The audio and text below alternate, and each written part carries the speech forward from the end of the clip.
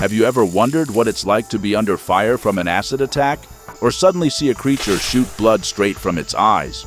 Nature is a true master of martial arts, where even tiny creatures possess techniques capable of shocking any opponent. Imagine a world where instead of swords, there's one's own blood, and instead of shields, living corals. Insane? Yet this is our planet. Just look closer. Wild jungles, deep oceans, and even ordinary forests hide real little warriors with incredible superpowers.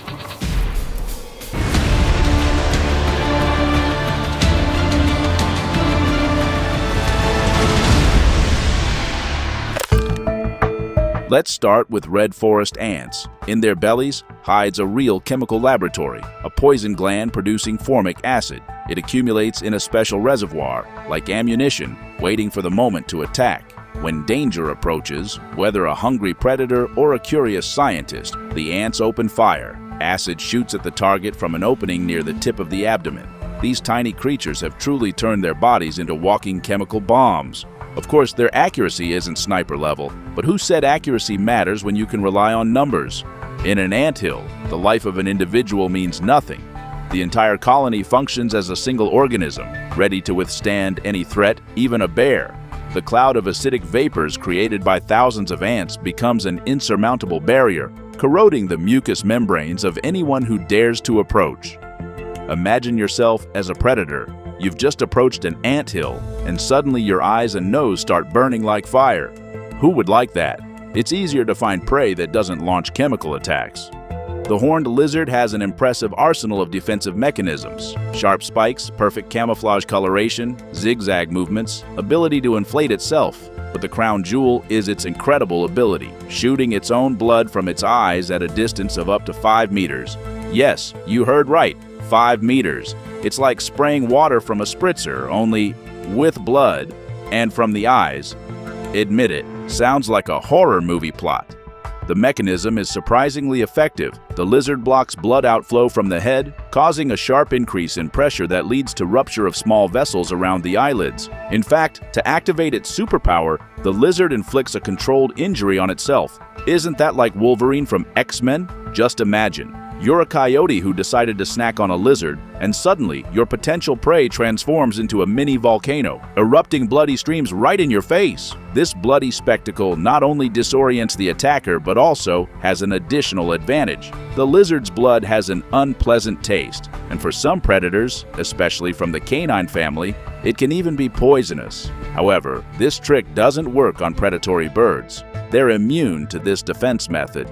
Evolution apparently decided not to make the horned lizard completely invincible.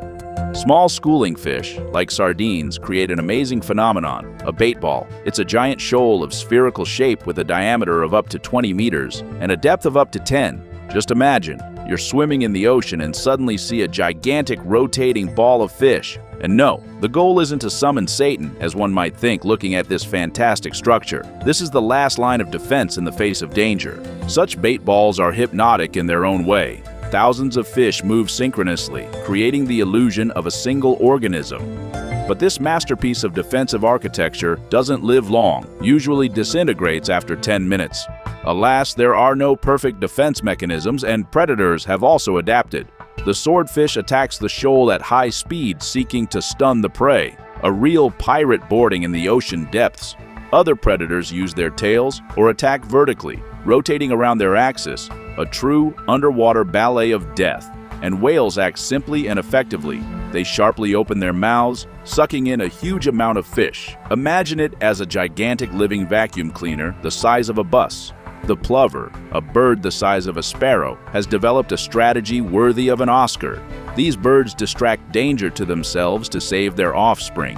When a predator approaches, the adult bird mimics an injury, pretending that its wing is damaged. It jumps, stumbles, drags its wing, a real avian DiCaprio in his best role.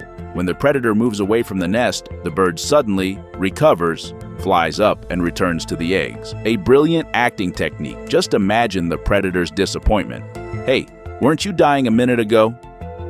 Spiders Cebrennus rechenbergi from Morocco took a different path. They roll. Using their own legs as wheels, they move in any direction, up, down, and even against the wind. A true ninja spider. With a speed of 2 meters per second, it moves twice as fast as when running normally. It's as if a human suddenly started somersaulting faster than running. Seeing a solifugid or another predator, I would also prefer to quickly roll away. The discovery of this species influenced biomimetics, the science of imitating natural solutions in technology. Scientists created a robot that moves in the same way for exploring the seabed or even Mars. That means the spider is so cool that people copied its movement technique for exploring other planets. Nemertines are marine worms, distant relatives of venom from comics. When in danger, they shoot something resembling living white slime. It writhes, moves, as if possessing its own mind.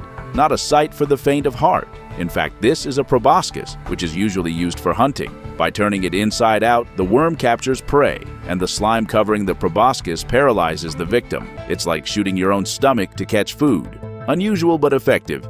And here's the boxer crab, Lybia. It holds anemones, special corals that it waves when meeting enemies or prey. This is mutualism, a form of cohabitation beneficial to both parties. The crab gets a weapon, and the coral gets transportation and part of the prey. Without anemones, the crab is doomed to starve. Its own claws are too delicate. Anemones are poisonous, providing additional protection. In extreme cases, the crab uses coral fragments, an improvised brass knuckle, Ocean Street wisdom, never fight with bare claws. Electric eels generate discharges with voltage up to 600 volts. That's almost three times more than in your electrical outlet.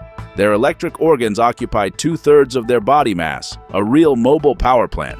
By the way, the electric eel isn't related to common eels, but rather an electrified catfish. Multiple discharges can cause respiratory or cardiac failure, causing a person to drown even in shallow water. So if you see a creature in the water that looks like a live high-voltage cable, stay away.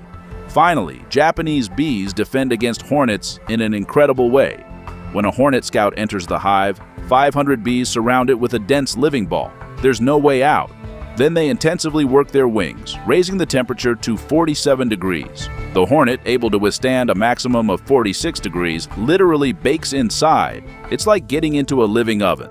The bees themselves can withstand temperatures up to 50 degrees and remain unharmed. Collective intelligence defeats brute force. Nature is inexhaustible in inventing ways to survive, from the chemical weapons of ants to the thermal weapons of bees, from bloody shots of lizards to electric shocks of eels. Each species has found its unique path in the endless struggle for existence. And who knows what other amazing defense mechanisms are hidden in the depths of wildlife waiting to be discovered. The world of wildlife is a real arena of martial arts, where each fighter has mastered their unique technique. See you soon.